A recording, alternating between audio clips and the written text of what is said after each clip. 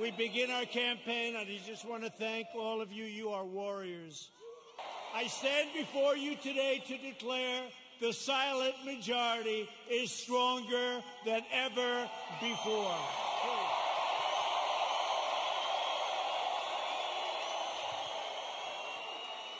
Five months from now, we're going to defeat sleepy Joe Biden. Boy, does he get a pass from these people, huh? We're going to stop the radical left.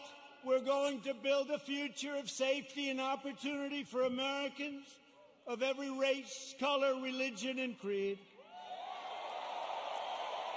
Republicans are the party of liberty, equality, and justice for all. We are the party of Abraham Lincoln, and we are the party of law and order.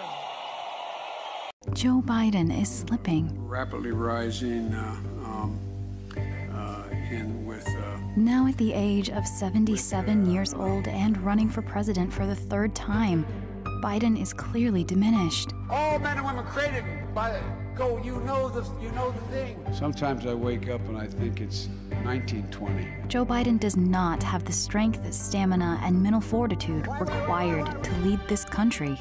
I'm Donald J. Trump, and I approve this message. I'm here to ask you for your help.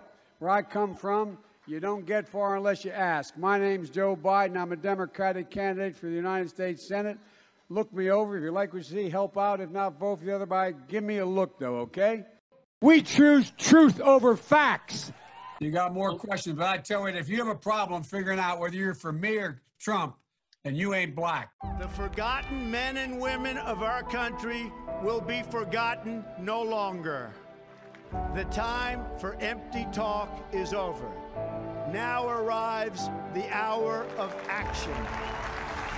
From this day forward, a new vision will govern our land. From this day forward, it's going to be only America first. Every decision will be made to benefit American workers and American families. America will start winning again, winning like never before. I will fight for you with every breath in my body, and I will never, ever let you down.